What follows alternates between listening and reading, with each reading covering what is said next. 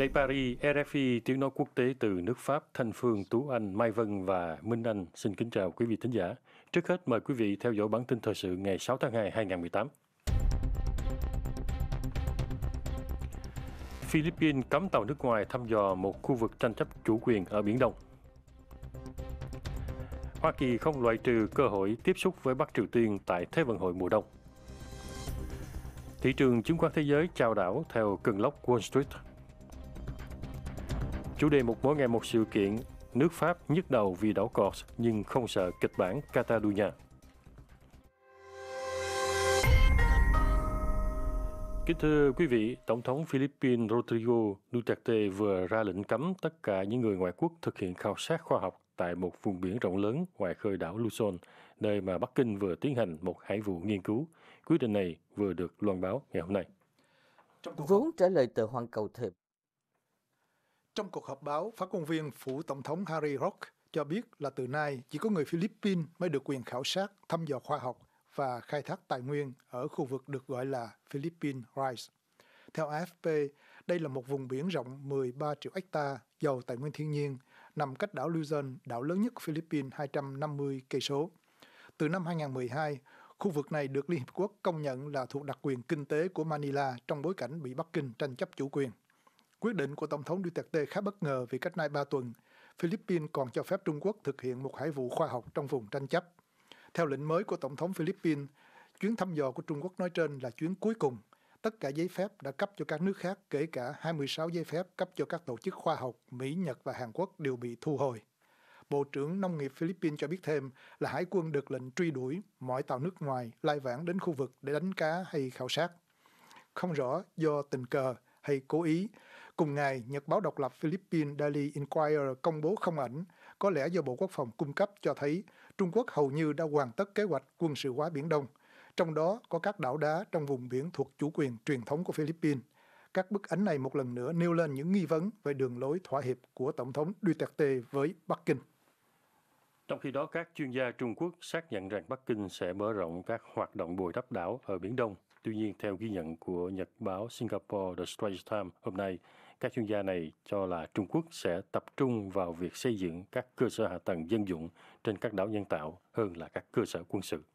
Vốn trả lời tờ Hoàn Cầu Thời báo vào hôm qua và được báo Singapore trích lại, chuyên gia Trần Tương Miễu thuộc Viện Nghiên cứu Nam Hải nhận định hầu hết các công trình xây dựng trên các hòn đảo ở Biển Đông đã được hoàn thành vào năm 2015 và tốc độ bồi đắp đã chậm lại công việc xây dựng cơ sở dân sự sẽ là trọng tâm chính, còn phần triển khai quốc phòng tương đối nhỏ. Theo nhà nghiên cứu này, thì một số hòn đảo có khả năng được mở rộng trong tương lai thông qua việc nạo vét thêm.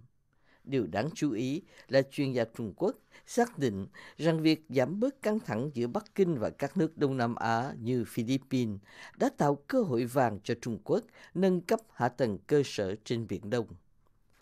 Theo một báo cáo chính thức của Trung Quốc được công bố vào tháng 12 năm 2017, thì trong năm ngoái, Bắc Kinh đã xây dựng trên một diện tích khoảng 290.000 m2 ở Biển Đông. Các công trình mới là kho chứa ngầm dưới mặt đất, tòa nhà hành chính và đài radar lớn. Còn báo Philippines Daily Inquirer mới đây đã công bố một báo cáo cho thấy là Trung Quốc đã gần như hoàn tất việc chuyển bảy rạn san hô ở Biển Đông thành pháo đài trên đảo nhằm thống trị Biển Đông. Về tình hình Việt Nam, thêm một blogger lãnh án tù hôm nay, blogger Hoàng Đức Bình vừa bị tuyên án 14 năm tù về tội lợi dụng quyền tự do dân chủ và chống người thi hành công vụ, theo thông tin từ luật sư Hà Huy Sơn, người bào chữa cho ông Bình. Cùng ra tòa với ông Hoàng Đức Bình, ông Nguyễn Nam Phong lãnh án 2 năm tù. Trả lời hãng tin Reuters qua điện thoại, luật sư Hà Huy Sơn cho rằng phiên xử đã được tiến hành mà không có bằng chứng buộc tội và đã diễn ra một cách không khách quan. Ông Hoàng Đức Bình đã bị đưa ra tòa do đã tham gia tổ chức các cuộc biểu tình phản đối công ty Formosa gây ô nhiễm biển miền Trung vào năm 2016. Cũng về nhân quyền, nhưng tại Hồng Kông, ba gương mặt tiêu biểu của phong trào đòi dân chủ ở Hồng Kông đã được tha bổng trong phiên xử hôm nay. Tuy nhiên, họ không hoàn toàn hài lòng về phán quyết của tòa. Hoàng Chi Phong, La Quán Thông và Châu Vĩnh Khang trong phiên xử phúc thẩm vào tháng 8 năm ngoái đã bị kết án từ 6 đến 8 tháng tù do vai trò của họ trong phong trào biểu tình đòi dân chủ. Vào mùa thu 2014, ba nhà hoạt động trẻ này đã kháng án lên tòa thượng thẩm. Từ Hồng Kông, thông tin viên Florence de Changy gửi về bài tường trình. Quelques minutes après l'annonce que la Cour d'appel finale avait cassé la décision, vài phút sau phán quyết của tòa thượng thẩm bác bỏ phán quyết của tòa phúc thẩm, Hoàng Chi Phong, lãnh đạo trẻ biểu tượng cho phong trào sinh viên đòi dân chủ ở Hồng Kông, ra phát biểu trước các ống kính truyền hình trên sân của tòa thượng thẩm nằm ở trung tâm Hồng Kông. Anh được tự do nhưng không tỏ vẻ hài lòng. Châu Vĩnh Khang, lớn tuổi nhất trong ba sinh viên này, vào lúc diễn ra phong trào dù vàng còn là sinh viên làm luận án văn chương và là tổng thư ký liên đoàn sinh viên thì giải thích rằng đây chỉ là một thắng lợi nửa vời. Anh nói, dĩ nhiên chúng tôi hiểu là nhiều người sẽ ăn mừng việc chúng tôi được tự do, nhưng nếu đọc kỹ phán quyết thì sẽ thấy phán quyết này vẫn kết luận rằng hành động bất phục tùng dân sự của chúng tôi mang tính bạo lực. Chính điều đó là điều có thể gây ra nhiều hệ lụy cho những hành động phản kháng sau này của ba nhà lãnh đạo trẻ của phong trào dân chủ Hồng Kông. Florence de Changy, Hong Kong, RFI. Liên quan đến tình hình tại bán đảo Triều Tiên, Phó Tổng thống Mỹ Mike Pence hoặc một giới chức cao cấp khác của Hoa Kỳ có thể sẽ gặp các đại diện của Bình Nhưỡng nhân Thế vận hội mùa đông tại Hàn Quốc. Trên đây là tuyên bố của Ngoại trưởng Mỹ Rex Tillerson với báo chí quốc tế tại Peru. Trong cuộc tiếp xúc với báo chí hôm thứ Hai tại Lima, nhân vòng công du châu Mỹ Latin, Ngoại trưởng Rex Tillerson cho biết Hoa Kỳ không loại trừ trường hợp tiếp xúc với Bắc Triều Tiên. Trước câu hỏi liệu Phó Tổng thống Mike Pence khi dự kháng Thế vận hội ở Hàn Quốc sẽ tiếp xúc với phái đoàn Bắc Triều Tiên hay không, Ngoại trưởng Mỹ trả lời là sẽ tùy nghi ứng biến bị phóng vân, bị phóng viên yêu cầu phải xác nhận muốn gặp hay là không thì ngoại trưởng Tillerson một lần nữa tuyên bố tùy nghi ứng biến tùy theo tình thế. Gần đây Washington cho biết sẽ không chủ động tiếp xúc với quan chức của Bắc Triều Tiên nhân Thế vận hội mùa đông, nhưng sẵn sàng đối thoại với Kim Jong-un để thúc đẩy Bình Nhưỡng bỏ chương trình hạt nhân. Theo chương trình, Phó Tổng thống Mike Pence sẽ đại diện Hoa Kỳ tham dự lễ khai mạc Thế vận hội Pyeongchang vào ngày thứ Sáu tới. Người dẫn đầu phái đoàn Bắc Triều Tiên là Chủ tịch Quốc hội Kim Jong Nam, Kim Vĩnh Nam. Cùng ngày thì một chiếc phà Bắc Triều Tiên đã chở đoàn văn công 120 người cập bến cảng Hàn Quốc Mukho vào lúc 17 giờ chiều nay giờ địa phương. Hãng thông tấn chính thức KCNA công bố tấm ảnh hàng chục phụ nữ Bắc Triều Tiên trong áo khoác mùa đông màu đỏ, xếp hàng hai lên bờ. Còn theo AFP, trên bờ có hàng trăm người cầm cờ Hàn Quốc la to khẩu hiệu chúng tôi chống Thế vận hội Bình Nhưỡng. Hàm ý chỉ trích chính phủ Hàn Quốc nhượng bộ quá nhiều những yêu sách của Bắc Triều Tiên đoàn biểu tình đã bị cảnh sát chặn lại khá xa địa điểm tàu cập bến. Chuyển sang khu vực châu Âu, Salah al-Islam, thủ phạm sống sót duy nhất trong vụ tấn công khủng bố thảm sát 130 người tại Pháp vào tháng 11 2015 và nổ súng chống cự cảnh sát Bỉ vào tháng 3 2016, bị kêu án 20 năm tù trong phiên xử đầu tiên vào ngày hôm qua tại Bruxelles.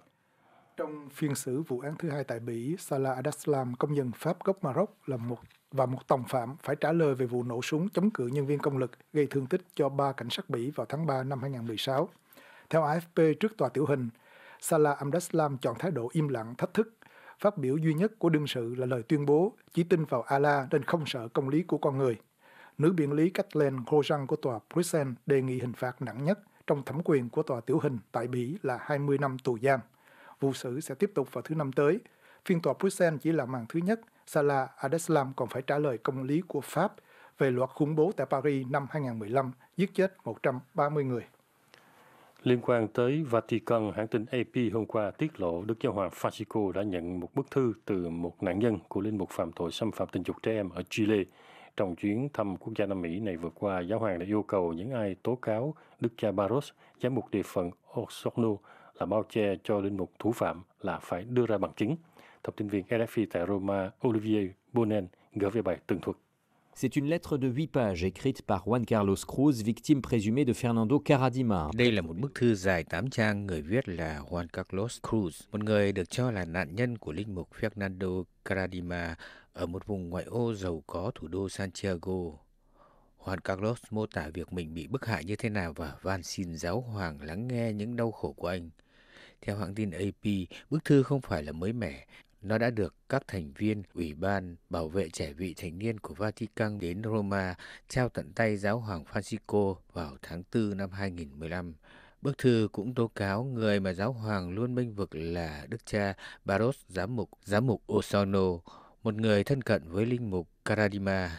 Cách đây vài ngày, tòa thánh đã thông báo cử một nhà điều tra đến Chile để nghe các nạn nhân, nhưng giáo hoàng vẫn tìm những bằng chứng về lời tố cáo đức cha Barros. Những bằng chứng, hành động cụ thể này, giáo hoàng có thể đọc thấy trong bức thư của Juan Carlos Cruz. Trên hồ sơ này cũng không loại trừ việc giáo hoàng chịu ảnh hưởng của một cố vấn, Đức Hồng Y người Chile Francisco Erazuris. Vị cựu giám mục Santiago này đã từng nói là không tin lời những nạn nhân của linh mục Caradima trước khi ông bị buộc phải công nhận sai lầm. Bức thư trên quả thật là rất phiền phức cho giáo hoàng Francisco làm cho người ta nghi ngờ về ý chí thực sự của ngài là hoàn toàn không dung thứ trên vấn đề xúc phạm tình dục trẻ em cũng như sự cảm thông của ngài đối với các nạn nhân. Olivier Bonnel, Rome, RFI. Tại Hoa Kỳ, tiểu ban tình báo Hạ viện hôm qua đã đồng ý công khai hóa một tài liệu do các dân biểu dân chủ ghi chép để phản bác nội dung một bản ghi chép của phe Cộng hòa, chỉ trích FBI thiếu khách quan và gây bất lợi cho Tổng thống Trump trong cuộc điều tra về tài tiếng Nga can dự bầu cử Mỹ. Theo Reuters, dân biểu Adam Schiff cho biết quyết định của tiểu ban tình báo Hạ viện đã được toàn thể thành viên Dân Chủ và Cộng hòa chấp thuận. Tài liệu này được chuyển ngay sang Nhà Trắng vào chiều thứ Hai. Tổng thống Donald Trump có thời hạn 5 ngày để quyết định giải mật như ông đã làm với bản ghi chép của một dân biểu Cộng hòa hồi tuần trước. Theo Tổng thống Trump, bản ghi chép của dân biểu Cộng hòa là bằng chứng minh quan cho ông. Nhưng tài liệu của phe Dân Chủ đã phản bác từng điểm nội dung của đồng viện Cộng hòa tố cáo FBI và Bộ Tư pháp Mỹ có thái độ bên trọng bên khinh. Cũng theo dân biểu Adam Schiff, Nhà Trắng không có lý do để ngăn chặn việc công bố bản ghi chép của các dân biểu Dân Chủ. Trong khi đó, đại diện của Hoa Kỳ và Nga đã đấu khẩu gay gắt hôm qua tại Hội đồng Bảo an Liên Hợp Quốc như cuộc họp về vũ khí hóa học ở Syria.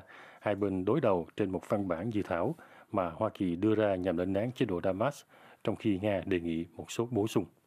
Đại sứ Mỹ Nikki Haley tố cáo thẳng thừng Nga muốn bao che chế độ Damas gây trở ngại cho việc trừng phạt. Chế độ Damas bị Mỹ tố cáo đã sử dụng chất clo trong các cuộc tấn công ở Đông Ghouta, ngoại ô Damas, làm 20 người thiệt mạng có cả trẻ em vào đầu tháng 2 và ngay ngày hôm qua cũng lại ở Ghouta làm ít nhất 29 người chết. Theo tổ chức Đài quan sát nhân quyền Syria, thì có một số thường dân tại chỗ bị nghẹt thở, dấu hiệu là có sử dụng chất hóa học. Bà Haley cho là đã có bằng chứng rõ ràng là chế độ Tổng thống Assad sử dụng khí clo chống lại dân tộc của ông nhiều lần trong những tuần qua và cho đến ngày hôm qua. Bà quy tội Nga làm chậm trễ một tuyên bố lên án mà nạn nhân là trẻ em Syria. Đại diện Nga Vasily Nebenzia thì tố cáo ngược lại một chiến dịch tuyên truyền nhắm vào chính phủ Syria và lên án những cuộc tấn công mà thủ phạm cũng chưa bị nhận diện. Trong tình hình đối đầu căng thẳng đó, thì các nhà ngoại giao không hy vọng là Hội đồng Bảo an sẽ thông qua được văn kiện gì lên án việc sử dụng vũ khí hóa học ở Syria. Còn vào hôm nay, thì đại diện Liên Hiệp Quốc ở Syria lên tiếng kêu gọi các bên ngưng bắn, ít ra là trong một tháng, để chuyển cứu trợ nhân đạo đến những nơi cần thiết. Trong một thông cáo, nhà điều phối cứu trợ nhân đạo của Liên Hiệp Quốc nêu bật tình trạng bi đát ở nhiều vùng và cảnh báo về một thảm họa nếu không kịp ứng phó. Hôm nay, Nga tuyên bố rất thất vọng về quyết định của Ủy ban Thế vận Quốc tế từ chối mời đến Thế vận hội mùa đông. 15 vận động viên Nga đã được xóa án doping từ Moscow, thông tin viên Daniel Valo tường trình. Cette décision est une décision honteuse dont le but est de nuire politiquement à notre pays. Đây là một quyết định đáng xấu hổ nhằm mục tiêu phá hoại đất nước chúng ta về mặt chính trị. Phản ứng của Thủ tướng Dmitry Medvedev biểu lộ rất rõ sự thất vọng và giận dữ của chính quyền Nga. Vào tuần trước, phán quyết thuận lợi của Tòa án trọng tài thể thao đối với các lãnh đạo thể thao Nga đã là một bất ngờ thú vị.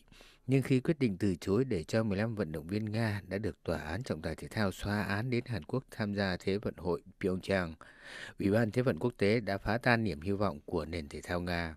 Ngoài phản ứng của Thủ tướng, nhiều lãnh đạo Nga đã bày tỏ thái độ tức giận. Phát ngôn viên của Bộ Ngoại giao Nga đã châm biếm là đến lượt các thành viên Ủy ban Thế vận Quốc tế cũng phải được xét nghiệm doping. Nói nhẹ nhàng hơn, Bộ trưởng Thể thao Nga cho rằng cứ truy tìm kẻ thù là một việc phản tác dụng. Theo vị Bộ trưởng này, hoàn toàn có thể tiến hành một thủ tục pháp lý khác để buộc các lãnh đạo Ủy ban Thế vận Quốc tế tôn trọng phán quyết của Tòa án trọng tài thường trực. Daniel Valo, Moscou, RFI.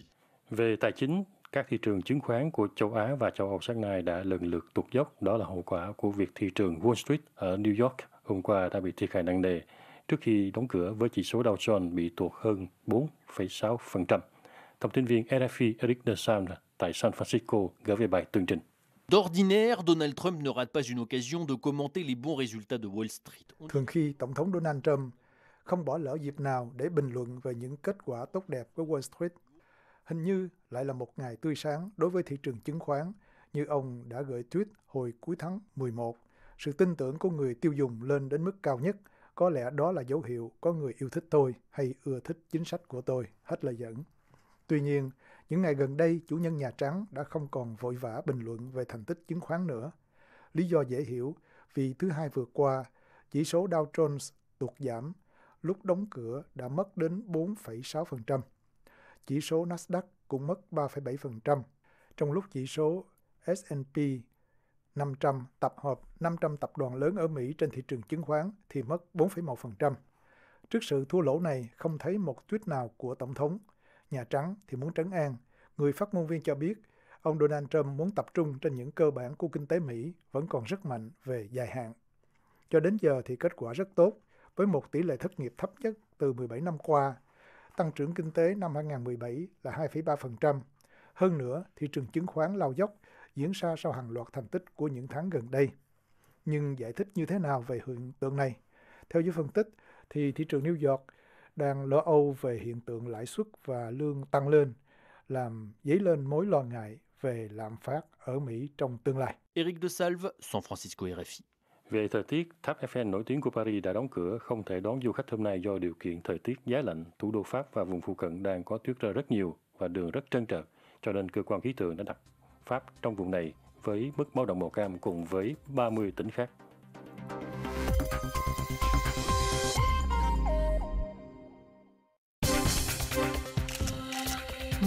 Một sự kiện. Chủ đề mục mỗi ngày một sự kiện, nước Pháp nhức đầu vì đảo cọt nhưng không sợ kịch bản Catalonia. Hôm nay, lần đầu tiên kể từ khi nhậm chức, Tổng thống Pháp Emmanuel Macron đến thăm đảo Cors trong hai ngày, một chuyến đi mang tính chất rất nhạy cảm trong bối cảnh áp lực của phe dân tộc chủ nghĩa đang gia tăng kể từ sau thắng lợi của phe này trong cuộc bầu cử địa phương vào tháng 12 vừa qua. Nếu như tại Tây Ban Nha, chính phủ trung ương ở Madrid đang điên đầu với vùng Catalonia, thì tại Pháp, chính phủ trung ương ở Paris cho tới nay cũng mất ăn mất ngủ vì đảo Corse bất trị. Trong suốt nhiều thập niên, bạo động vẫn không dứt trên đảo Corse với tổng cộng hơn 4.500 vụ khủng bố mà tuyệt đại đa số chỉ gây thiệt hại về mặt vật chất. Đỉnh điểm của làn sóng bạo lực này là vụ ám sát tỉnh trưởng đảo Corse Claude Erignac vào tháng 2 năm 1998. Tác giả của phần lớn các vụ khủng bố đó là Mặt trận Giải phóng Dân tộc Corse, một tổ chức đòi độc lập cho đảo này. Mặt trận Giải phóng Dân tộc Corse đã buông vũ khí từ năm 2014, nhưng một số nhân vật dân tộc chủ nghĩa vẫn dọa là bạo động sẽ tái diễn nếu chính quyền trung ương ở Paris không đáp ứng các yêu sách của họ. Sau khi phe dân tộc chủ nghĩa giành thắng lợi trong cuộc bầu cử địa phương vào tháng 12 vừa qua, một số người lo ngại kịch bản Catalonia sẽ xảy ra đối với đảo Corse. Thế nhưng hiện giờ khả năng này chưa thể xảy ra. Thứ nhất là khác với Catalonia, ở đảo Corts, phe chủ trương độc lập cho tới nay chỉ chiếm thiểu số, kể cả sau cuộc bầu cử địa phương vừa qua. Thứ hai, về mặt kinh tế, dân số, đảo Corts không thể được so sánh với Catalonia, một vùng có trọng lượng kinh tế lớn hơn rất nhiều. Catalonia có thể sống một mình, trong khi nếu tách ra khỏi nước Pháp thì đảo Corts khó mà sống sót. Thứ ba, về mặt định chế, vùng Catalonia vốn đã có quyền tự trị cao hơn rất nhiều so với đảo Corse, cho nên họ mới dám đi thêm một bước đến nền độc lập. Các lãnh đạo hiện nay của đảo Corse không đòi độc lập mà chỉ yêu cầu chính phủ trung ương chính thức công nhận tính đặc thù của vùng lãnh thổ này bằng cách ghi điều đó vào hiến pháp của nước Pháp. Họ cũng đòi đảo Corse có một quy chế giống như là Nouvelle-Calédonie hay Martinique, tức là một quy chế thuế khóa và xã hội chuyên biệt. Nói cách khác, họ đòi một quy chế tự trị rộng rãi cho đảo này. Để gia tăng áp lực buộc chính phủ của Tổng thống Macron đối thoại với họ về quy chế tự trị đó, phe dân tộc chủ nghĩa hôm Chủ nhật vừa qua đã huy động hàng ngàn người ủng hộ xuống đường. Khi ra tranh cử tổng thống, ông Macron đã từng tuyên bố rằng chỗ đứng của đảo Corse là nằm trong nền Cộng hòa. Ám chỉ là ông sẽ không bao giờ chấp nhận cho đảo Corse được độc lập. Tuy nhiên, ông có vẻ sẵn sàng phân cấp lập quyền nhiều hơn cho đó Corks và không loại trừ khả năng sửa đổi hiến pháp theo hướng đó. Những người thân cận với Tổng thống Macron này cũng khuyên ông nên tỏ ra mềm dẻo, nên công nhận tính đặc thù của đảo Corks. Các lãnh đạo của đảo này đang chờ nghe bài phát biểu của Tổng thống Macron ngày mai để biết rõ ý định của nguyên thủ quốc gia Pháp.